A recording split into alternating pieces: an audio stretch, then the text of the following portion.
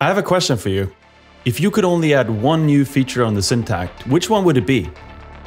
To be honest, I probably would say sampling playback or polyphony. But come on, let's try to be realistic and stay on topic here.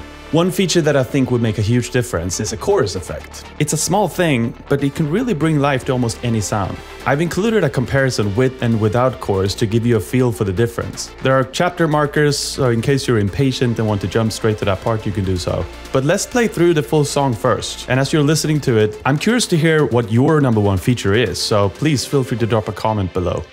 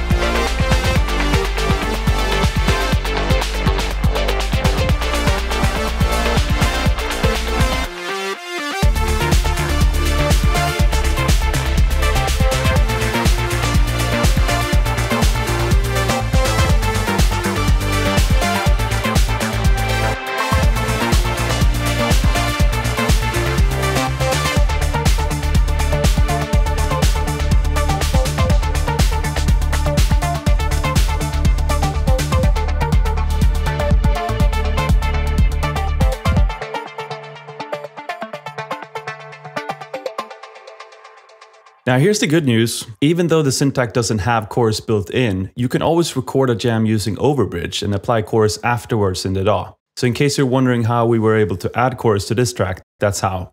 Alright, so let me play a section of the song again, but this time we'll isolate the sounds that have chorus applied to them. I'll switch the chorus effect on and off so you can hear the difference. And keep in mind that the effect is subtle, so it's best if you wear good headphones when listening. Starting with the chorus effect off.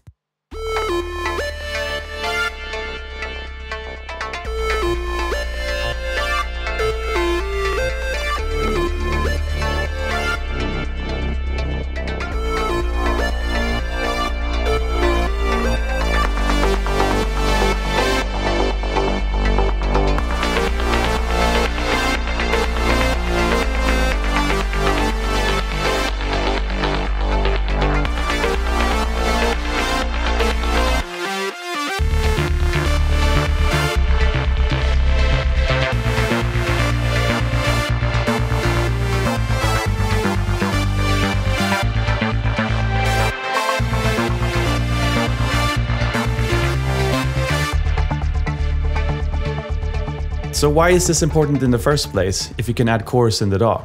Well, I can only speak for myself and the way I prefer to make music. I often sit with the Syntakt and stand alone on my lap sketching out new ideas. And to me, having chorus built into the synthesizer is about getting a feel for the groove and feeling of the song while I'm still in the noodling phase. So at that point, I probably don't even know if the sketch is worth working on or if I'll end up throwing the idea away or starting over. All of this happens way before I do the final jam and recording in front of a camera. And also to be clear, I would still replace the chorus in the DAW once the jam is recorded because that always gives you more control and flexibility when mixing a track. To me, this is more about the sketching phase and getting a better feel for the end result while a new song is taking shape. Oh, and I should mention that there is a way to create a simple chorus effect right on the Syntakt itself. I've left a link to a great tutorial by Human Program in the description below if you're interested in how that's done. But the problem with that method is that you have to sacrifice the delay effect to achieve it. And that's not a trade-off that I'm willing to make because we use delays in our music all the time. From my perspective, they should just copy paste the digitone chorus into the Syntakt. That should, in theory, be very simple. Of course, nothing is ever simple when it comes to shipping hardware and software and all that kind of stuff, um, but it would certainly make me happy. Alright, I hope this is useful to you in some ways. And if you want more content like this, please consider subscribing because we have a lot of stuff similar to this lined up for 2024, including new gear. With all that said, I hope you're having fun making music. That's really all that matters in the end. Thanks for watching.